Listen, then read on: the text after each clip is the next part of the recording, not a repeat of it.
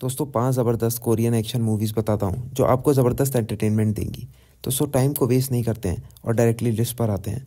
Number one पर है the man from nowhere तो मूवी में दिखाया है कि एक एक्स स्पेशल एजेंट होता है, जो अपनी सर्विस को ख़त्म करने के बाद एक पॉन शॉप चलाता है और ह्यूमन वर्ल्ड से कनेक्ट होने के लिए सिर्फ़ उसका एक ही रीज़न होता है। एक छोटी सी लड़की, जिसकी माँ एक एडिक्ट होती है और एक नाइट क्लब में डांसर होती है।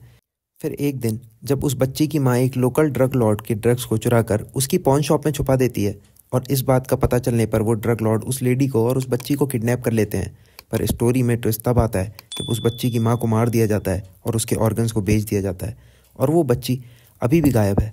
अब वो एक्स स्पेशल एजेंट उस ड्रग सिंडिकेट के पीछे लग जाता है और उस बच्ची को ढूँढने के लिए हर मुमकिन कोशिश करता है। अब आपको देखना यह है कि क्या वो इस बच्ची को सही सलामत वापस ला पाएगा या नहीं? नंबर टू पर है कन्फेशन ऑफ़ मर्डर तो फ़िल्म में दिखाया है कि एक सीरियल किलर जिसने दस औरतों के मर्डर किए होते हैं और उसका ग्यारहवा विक्टम लापता होता है। पुलिस को जब शक होता है कि ये भी उसी का काम है, पंद्रह सालों के बाद वो एक बुक पब्लिश करता है, जिसमें हर एक मर्डर के बारे में बहुत डिटेल में एक्सप्लेन किया होता है। लेकिन कहानी में ट्विस्ट तब आता है जब एक टीवी डिबेट के दौरान एक आदमी क्लेम करता है कि वो असली सीरियल किलर है, न कि वो बुक पब्लिशर अब सच क्या है, ये तो आपको फ़िल्म देखकर ही पता चलेगा। नंबर थ्री पर है the good, the bad, the weird.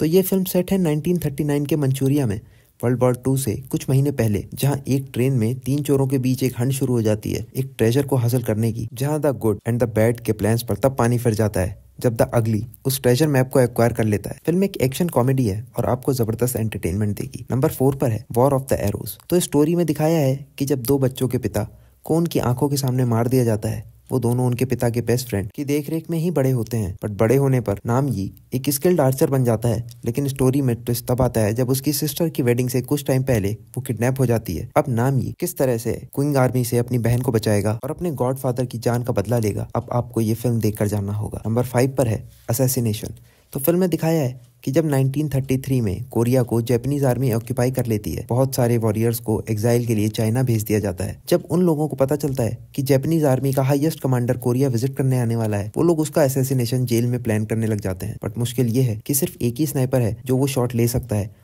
और वो शंघाई की जेल में कैद है। अब किस तरह वो ये असैसिनेशन प्लान करेंगे और कैसे इस मिशन को पूरा करेंगे, ये जानने के लिए आपको फ़िल्म देखनी होगी। तो ये थी लिस्ट आप लोग अपने ओपिनियंस मूवीज़ देखने के बाद ज़रूर मेरे साथ शेयर करना। मिलते हैं एक और वीडियो में। तब तक के लिए गुड बाय